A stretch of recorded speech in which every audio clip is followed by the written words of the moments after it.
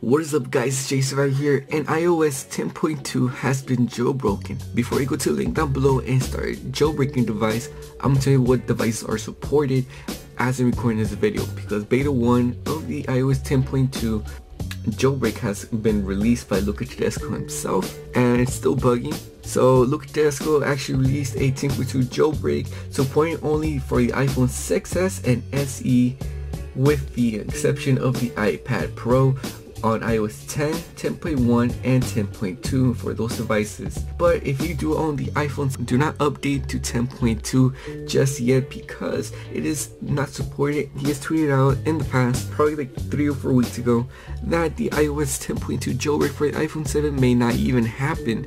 So um, it's actually something kind of disappointing, but I did manage to install the application onto my device for 10.2 if you do open it, on the bottom it says for all iOS 10 up to iOS 10.2 pre-7. I don't know if pre means like they're going to add support to this iOS 10.2 for the iPhone 7, but I'm not really sure. But if you do click on go and you do on the iPhone 7, you just get this crash right here so just reboots your device, not even harmful. We just have to wait for the actual iOS 10.2 jailbreak. So if you do own the iPhone 6s, SE, and iPad Pro, you can jailbreak on 10.2, but it does not work for the iPhone 6 or the 7 on 10.2 what else? So yeah you can download everything it will be in the description down below. So if you do own those devices you can go to the description and download from Luca Todesco's website on the iPhone 7 stay on 10.1.1 yet because it's not supported on 10.2 and you do have the impossible chance to actually jailbreaking in the future once he re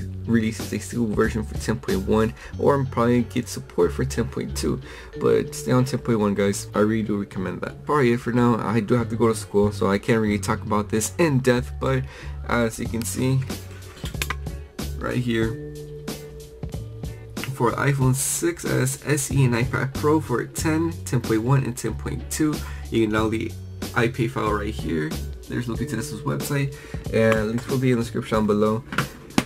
And if you do install this on the supported devices, it will look just like this. So this is the icon right here. It looks like a fat Chinese guy with a stock stock right here. So yeah, that's pretty much for this video. So yeah, if you like this video, please give it a thumbs up. Please subscribe more videos coming your way. See you see you in the next one. And yeah, so subscribe to my channel as well before logging out of this video. Subscribe to my channel. I will upload a video when a iOS 10.2 uh, jailbreak is stable and 10.1 jailbreak for the iPhone 7 is stable as well. So do subscribe for that. Turn on my notifications. And yeah, peace.